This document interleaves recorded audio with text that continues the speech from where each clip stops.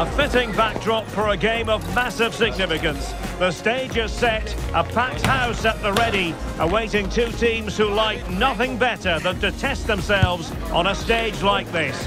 The tricky part is predicting which side will outfox the other. We're live on EA TV.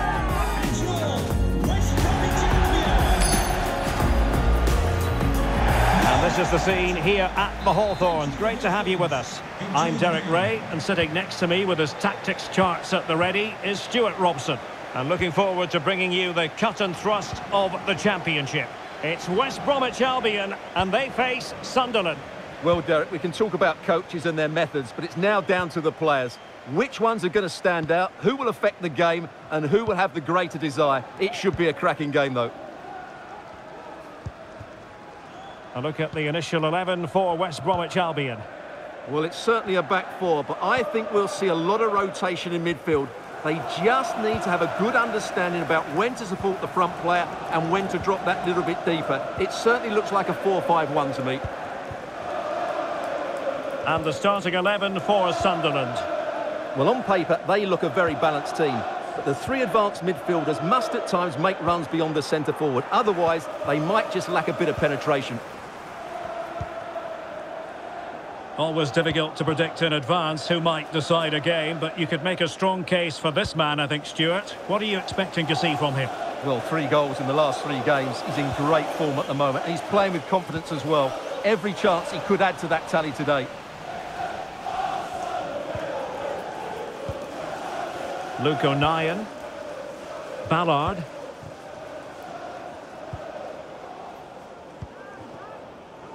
O'Nien. Being pressed and pressed high. Jack Clarke.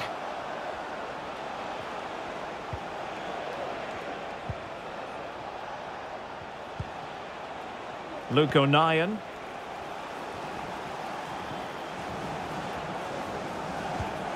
Clarke.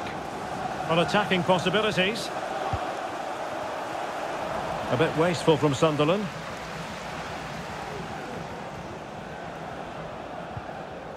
Diangana. And a chance to whip it in here. Well, it wasn't a productive cross.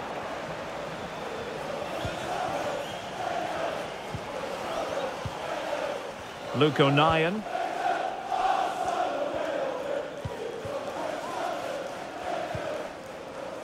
Ballard. O'Nien.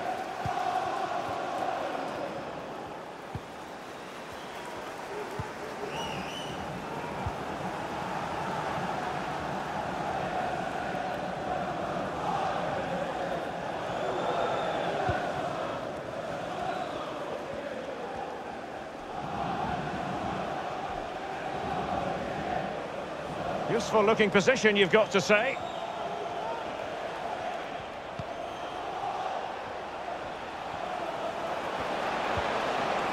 And a good challenge to bring that attack to an end. Diangana winning it back high up the pitch. Making progress. And there it is, 1-0. Their efforts have been rewarded. And look at the celebrations.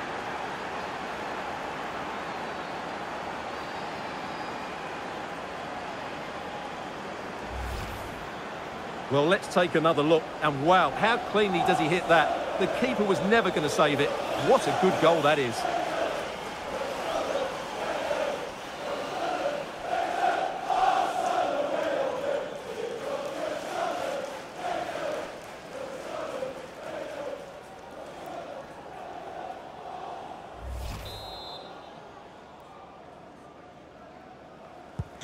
And back underway.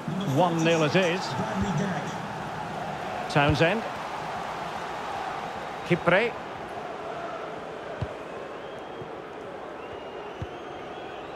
Bartley. Townsend. Diangana. It's with Kyle Bartley. West Brom unable to hold on to the ball. Now a decent position. Straight forward for the keeper.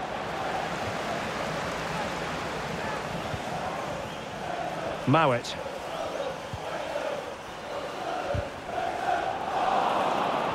Intercepted effortlessly.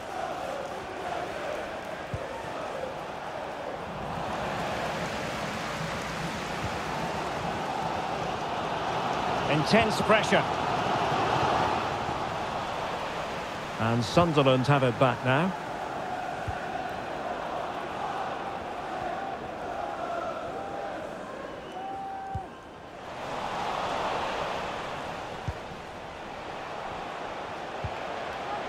Excellent defending.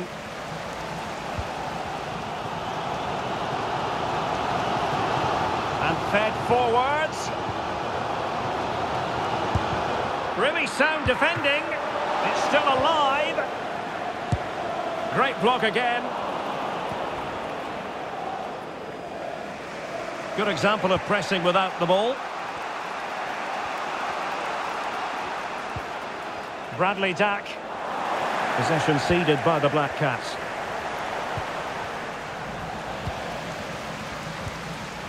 Well, the hosts have had most of the ball in the last 15 minutes, and they've created chances. It just now needs one of those chances to be taken, but you feel it's coming. Well, let's see if they can win the ball back and create something else. Foiling his opponent completely. Poor pass. Well, a really good run. Well, good technique in terms of how he struck it.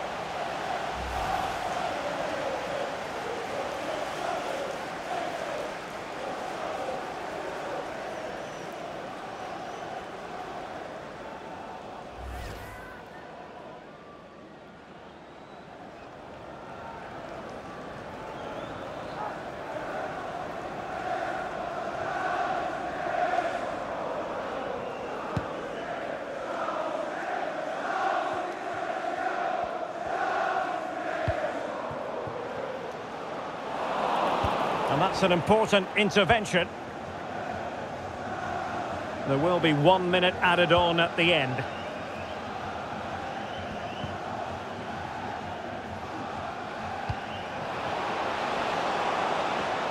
A danger here as he runs at them. Credit to them for winning back possession. So half-time then. The first 45 minutes have come and gone here at the Hawthorns. This man will get most of the plaudits for his contribution up to this point, Stuart. Well, I thought he had a really effective first half. Not only did he get the goal that gave them the lead, but his general play was really good. He was a constant threat, and I'm sure we'll see more of him in the second half.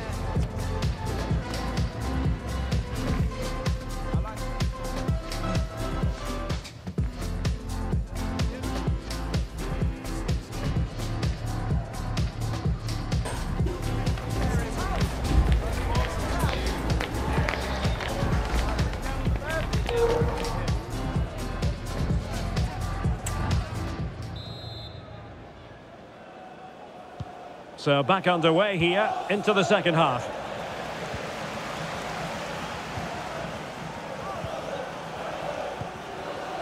O'Nien.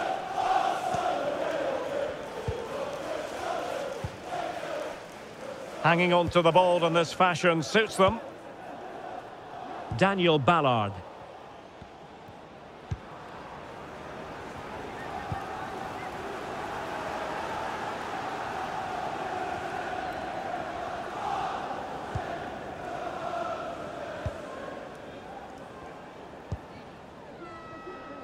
Luke O'Nien.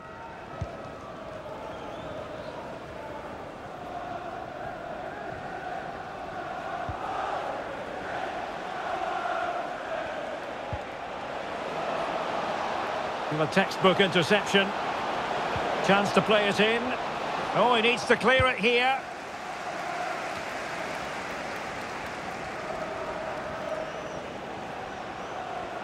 Well, they know they need to stop him.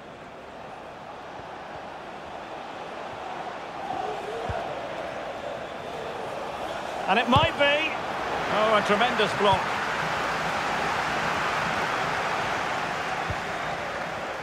Did really well to get through. Has a go. And denied by the keeper. Impressive.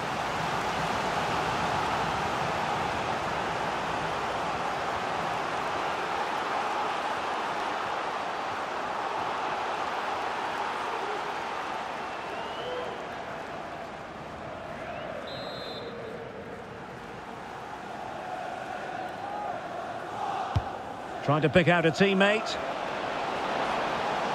And a good take under duress there. Grady Diangana. Really clever pressing. Showing a lot of guile there. It's there for him. Really good diving save.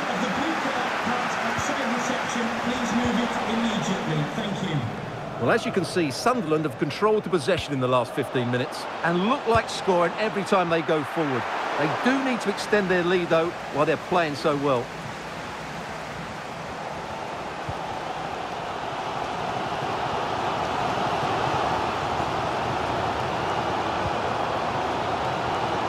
Furlong. And the cross not quite accurate enough. Bradley Dack.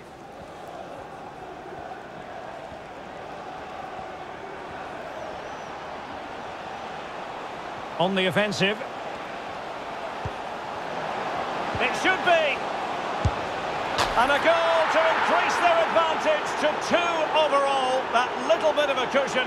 Now it's all about keeping the concentration.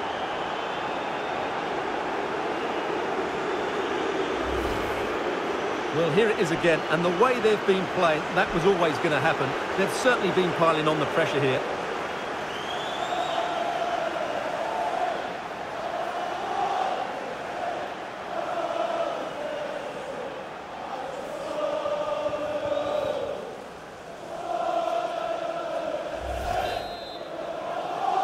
Goal 2-0 here, and the ball is moving again. Bradley Dack. Bartley. Kipre. Townsend. It's with Kyle Bartley. Darnell Furlong. Kipre. Townsend. It's with Kyle Bartley. Furlong.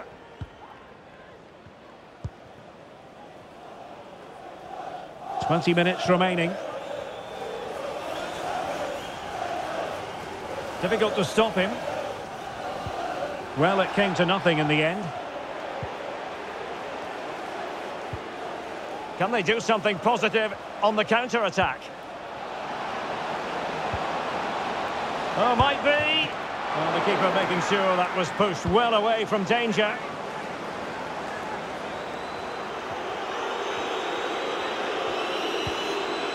Okay Yokuşlu. Furlong. Is it going to be? Well, it might still work out for them. Well, no way through in the end. And that's great work to make sure it didn't go over the line. Possession lost by Sunderland.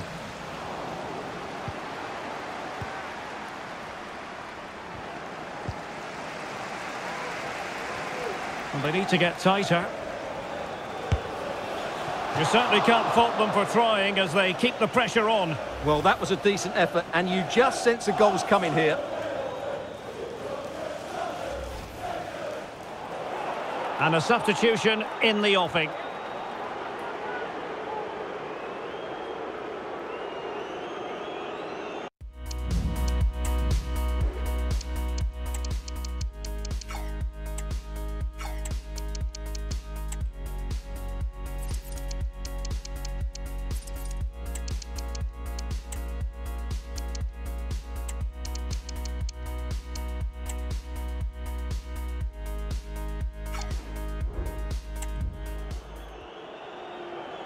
Substitution for West Bromwich Albion.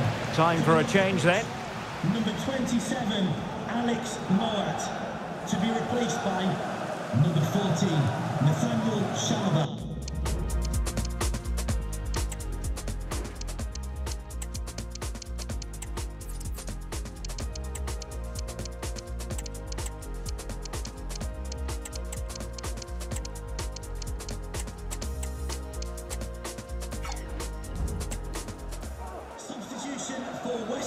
Here it is now, a substitution. Number 11, Grady Diangana. To be replaced by number 19, John Swift.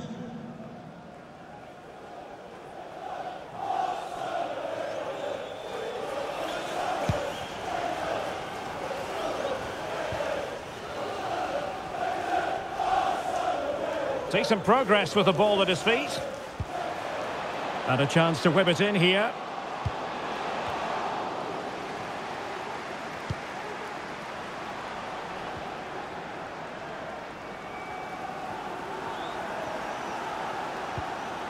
Chalobah. And the flag raised. Offside it is.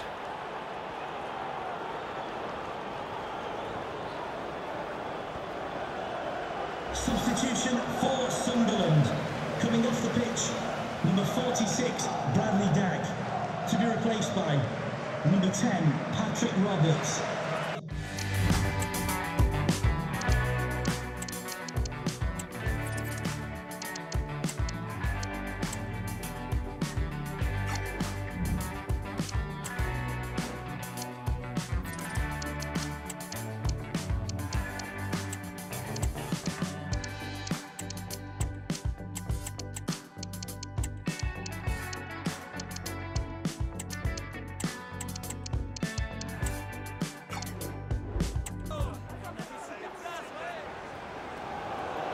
Well, they've been getting the substitute ready, and now they will make the personnel change.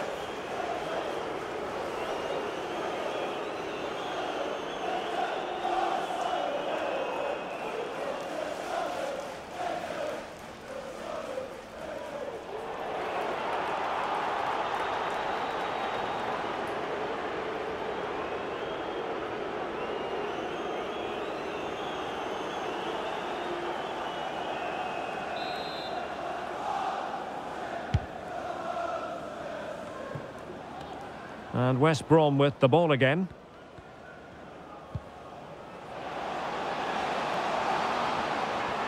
Well, very effective play in possession. Chance maybe. Well, wasn't totally in control, and a corner kick conceded here.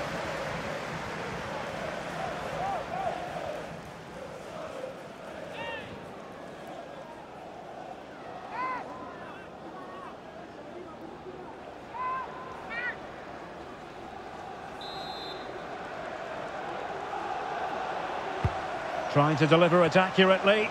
Well, he couldn't quite keep the header down. Goal kick.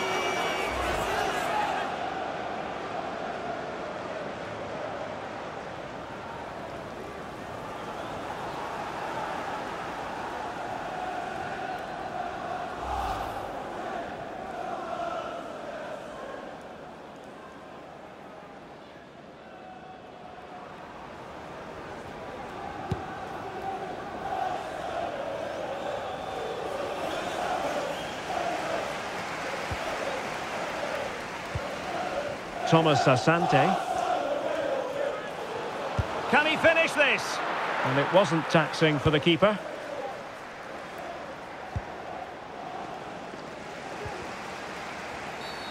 And not a great challenge. Free kick here.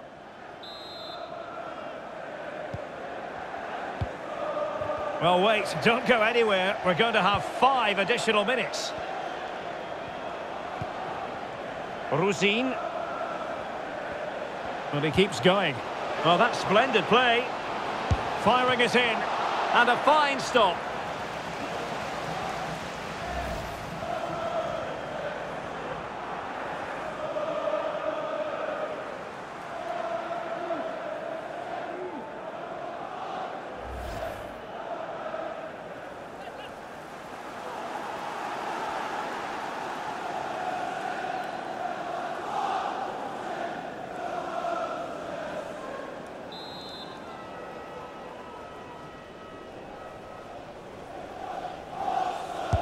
Played over.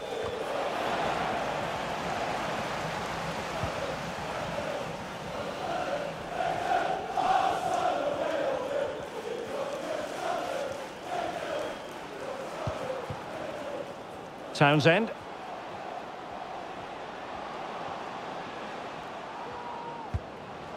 Well, far from the cross. And the referee blows the whistle, bringing to an end a disappointing day for West Bromwich Albion. Three points squandered. Well, Derek, they were certainly off the pace today. Beaten to the ball in too many key areas. They need to refocus now and perform better next time out. But it just seems in this game he's been a step ahead of his opponents in every way, Stuart. Well, he gave that back line a torrid time, didn't he? He was far too sharp for them, always looking to play on the shoulder, took his goals well too. Clearly the difference maker today.